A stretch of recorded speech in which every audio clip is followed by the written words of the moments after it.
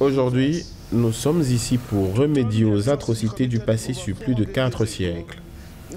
Il serait stupide de ne pas reconnaître que les frontières africaines ont été élargies aux Caraïbes. Nous serions donc responsables si nous refusions d'admettre notre origine commune et donc devions pouvoir constituer un marché commun.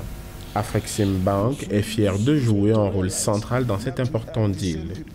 En 2017, quand nous avions lancé notre cinquième plan stratégique, nous y avons incorporé la stratégie de la diaspora en définissant le thème marché africain, entendu comme le commerce entre Africains nonobstant les origines géographiques. Nous avons mis un point d'honneur à l'aspect intra-africain sans se focaliser sur le continent. Notre ambition est de soutenir les Africains, où qu'ils se trouvent, dans leur projection économique.